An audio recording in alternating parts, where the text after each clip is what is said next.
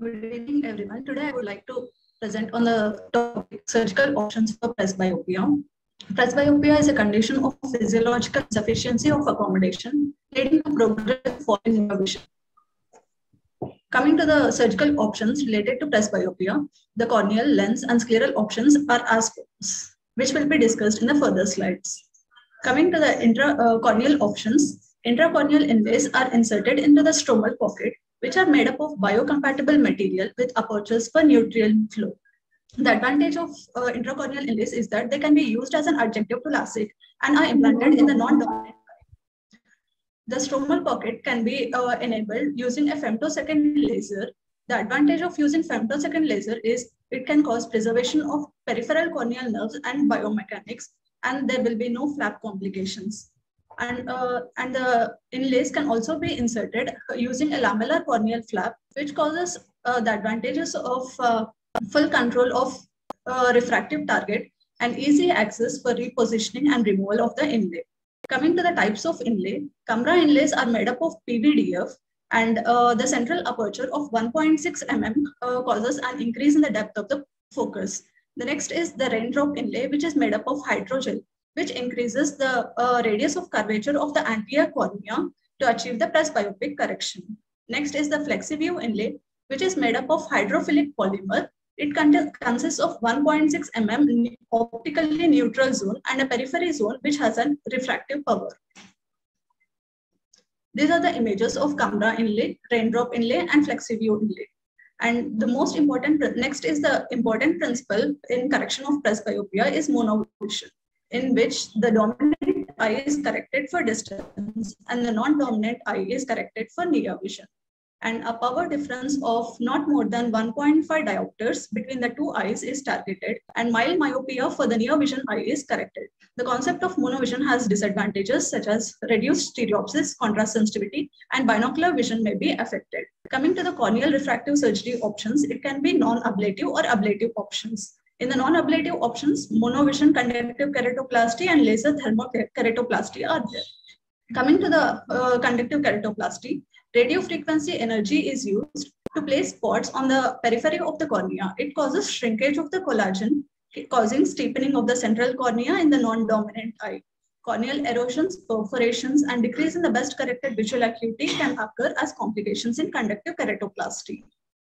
Coming to the ablative procedures, IntraCOR is a femto, uh, IntraCOR is a procedure in which femtosecond laser is used to make five concentric rings and a localized biochemical change occurs in the cornea uh, so that it corrects the presbyopia in the non-dominant eye. Next classic procedure is presbyon. It is also a monovision principle in which the dominant eye is corrected for distance and intermediate vision and the non-dominant eye is corrected for both intermediate and near vision so that the positive spherical aberration is created in the center and the image disparity between the two eyes is minimal. Next LASIK procedure is Presbyon multifocal LASIK, wherein the corneal ablations are uh, done at various optical zones so that a multifocal cornea is created. Next lenticular lens options would be multifocal intraocular lens. It is of two types, refractive and diffractive lens. Refractive lens are mainly dependent upon the pupil wherein annular zones with different refractive powers are present on the anterior surface of the lens. Whereas in diffractive lens, it is less pupil dependent and uh, bifocal, trifocal and EDOF lenses are mainly used in diffractive lens for correction of presbyopia. These are the images of refractive lens and diffractive lens, wherein diffractive lens has uh, different uh, focuses near, for near vision, intermediate vision, and distance vision. The, but the uh, contraindications for multifocal IOLs are professional night drivers, those who have ocular pathology such as zonular weakness, glaucoma, macular diseases, who have pre-operative astigmatism and unrealistic expectations from the patients. Next IOL options would be accommodative IOLs, which work on the focus shift principle. There will be a dynamic increase in the uh, dioptric power with accommodative effort. There are two types of accommodative IOLs, position changing and shape-changing IOLs. Crystalens is a position-changing monofocal IOL which causes a change in the axial position relation, relation to the cornea. 1 mm movement is equal to 2 diopter of power change. Coming to the shape-changing IOLs, the capsular bag squeezes a tiny amount of fluid from the haptics, which inflates the lens, giving the near vision. Next lens options would be presbyopic implantable phakic contact lens. It is a posterior chamber phakic IOL with uh, it has a wide range of correction, both sphere and cylinder, and pres presbyopic add-upon can be up to plus four diopters. Next is the scleral options, which is mainly based upon Schachar's theory of accommodation, which causes expansion of sclera over the ciliary body to increase the distance from the lens. And the disadvantages of scleral options would be scleral weakening and anterior ciliary ischemia. This is the image of scleral expansion band. Thank you.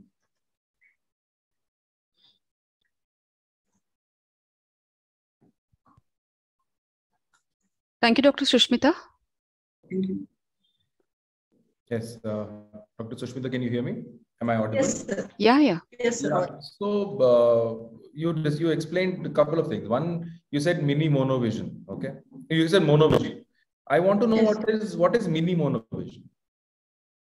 Uh, mini monovision is like we uh, the dioptric uh, difference between the two eyes is very less, and in one eye, uh, very minimal myopia is uh, done.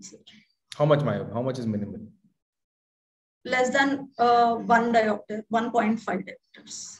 1.5 is monovision. So mini monovision is 0.75, 0.5 to 0.75 diopters.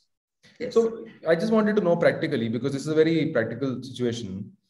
What is what is the popular treatment in today's time? Because there are so many, and I what almost most of that you said are not practically in use in the clinic.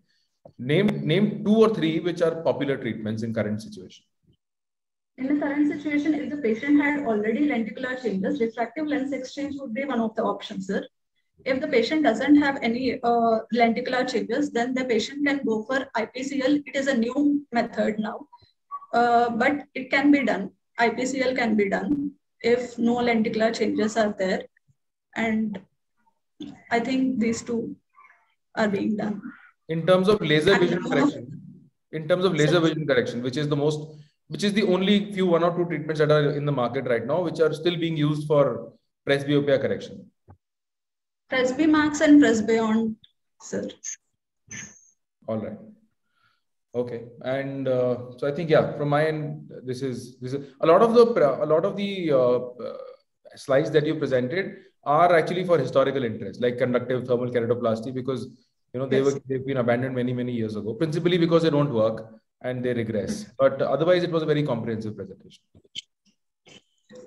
Yeah, it, it, it was good. Like I, I, I was there for the uh, first one, uh, conductive keratoplasty that was done, and the patient turned out to be very, uh, uh, very unhappy uh, after that. And uh, uh, see, a, a simple practical question, like you said about finding the dominant eye and do- non-dominant eye. How how do you how do you how how can I find out which is a dominant eye and uh, which is a non-dominant eye? Other different ways to uh, go for it and what would you be your preference for it We can ask the patient uh, to act as if he's shooting something uh, so that if he, uh, we can make out if the eye is open, uh, regarding the eye which is open, that is the dominant eye, and the eye which has been closed is the non-dominant eye.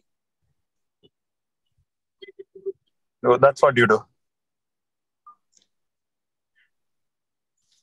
And okay okay. Uh, no issues. I'm i'm i'm, actually driving uh, uh, uh, continue continue